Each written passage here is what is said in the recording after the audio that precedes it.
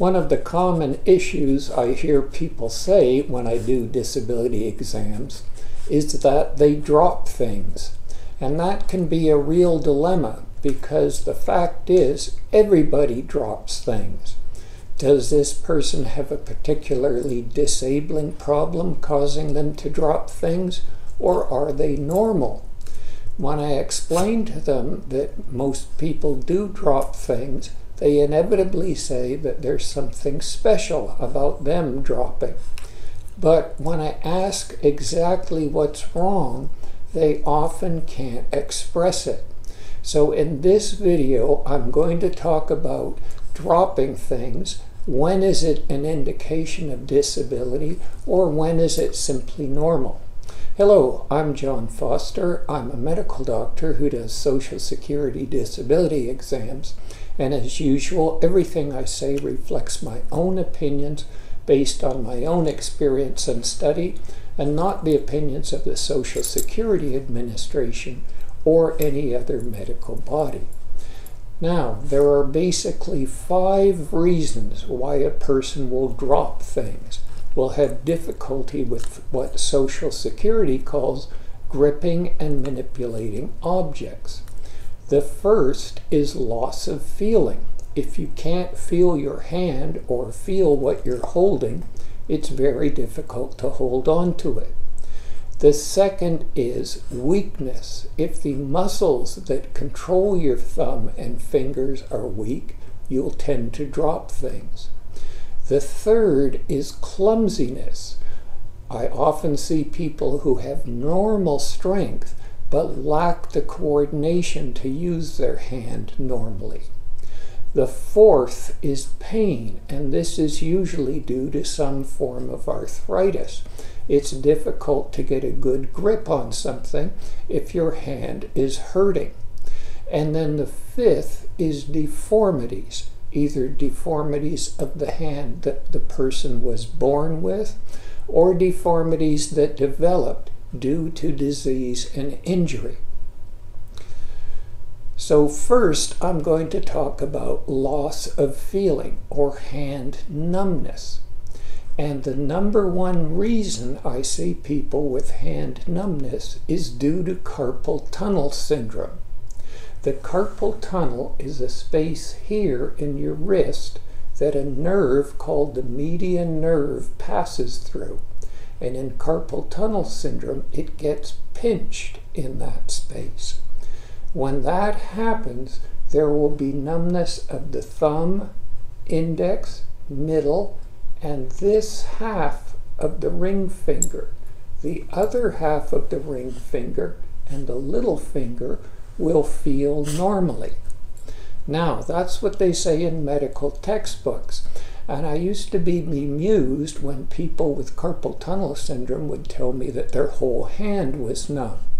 And then I developed mild carpal tunnel syndrome myself. And I noticed that it did feel like my whole hand was numb. However, if I carefully tested each side of each finger, I would notice that I could feel the little finger and this half of the ring finger normally. Carpal tunnel syndrome is graded mild, moderate, and severe. In mild carpal tunnel syndrome, there's intermittent numbness, usually when the person wakes up from sleep. In moderate carpal tunnel syndrome, there's numbness all throughout the day and night. And in severe carpal tunnel syndrome, these muscles, called the thenar eminence, which are innervated by the median nerve, become weak. And you'll see that these muscles will shrink, and the person will have a great deal of difficulty pinching their thumb and little finger together tightly. Often they can't even get them all the way together. Another common cause of hand numbness is cubital tunnel syndrome. And in this case, the ulnar nerve, the nerve that supplies the feeling to the little, and this half of the ring finger gets pinched, usually in the elbow. There are other causes of hand numbness. Some people with strokes get numbness on one side of their body, and it's usually maximum in the arm and hand. The nerves that control the hand's feeling and strength begin in the brain, run down the spinal cord, and then come out little holes in the cervical spine called neuroforamina, clump together in the armpit, and then run all the way down to the fingertips. So, problems with the neck, such as herniated discs in the neck, can cause partial numbness of one or both hands. Another common cause of hand numbness is neuropathy, such as diabetic neuropathy. In neuropathy, the entire hand, on, usually on both sides and both feet, will become numb. So that those are the common causes of hand numbness. And if you're finding this helpful, you may want to subscribe. I generally put out one disability related video a week. The second thing that can cause difficulty with holding and manipulating and dropping things is weakness. And this is common in stroke. There can be anything from mild weakness on one side of the body to complete paralysis where the person cannot move their arm and hand at all.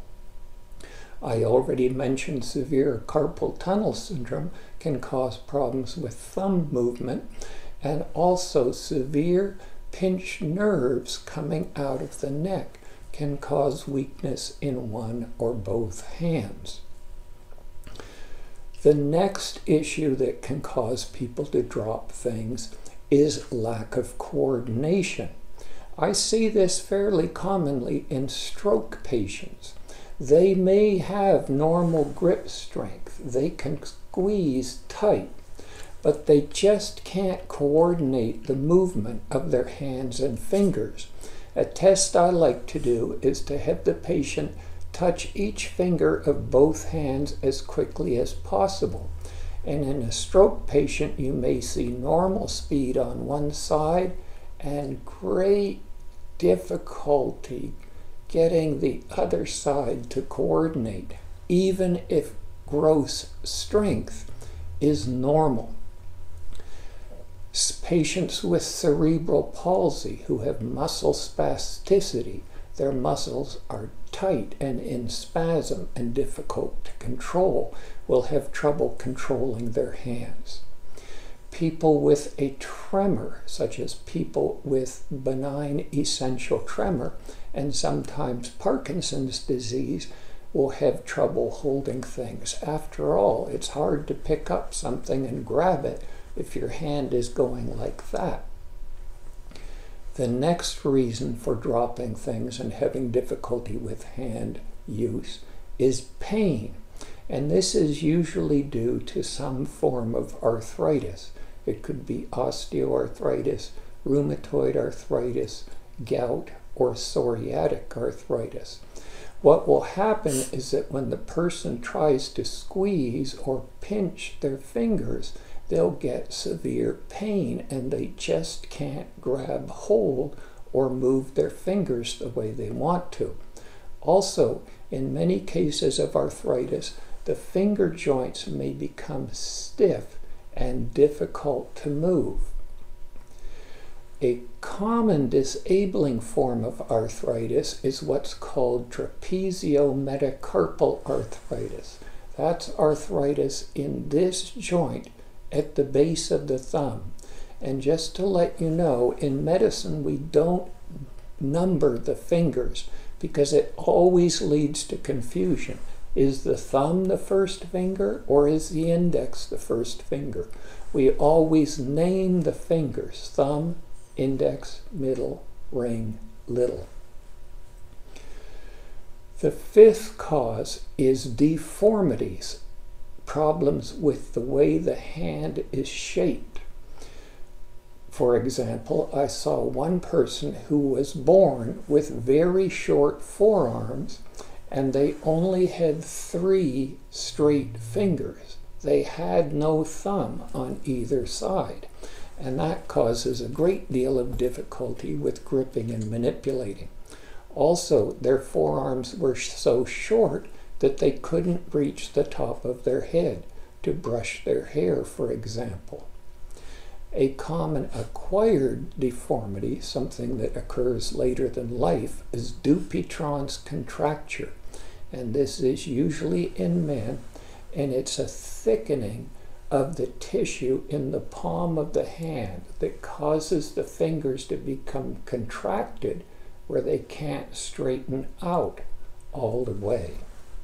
Another common thing that I see is old trauma that didn't heal up well. For example, a finger that was broken and healed up crooked, or an old laceration that cut one of the tendons that moves the finger and the tendon wasn't repaired. And now the finger either can't straighten out all the way or can't bend all the way. So the bottom line is if you have problems using your hands, that is very significant for Social Security. But you must be more specific than merely saying that you drop things. You need to give the reason or reasons. There may be several together, such as pain and numbness and weakness to explain to the examining doctor why you have difficulty using your hands.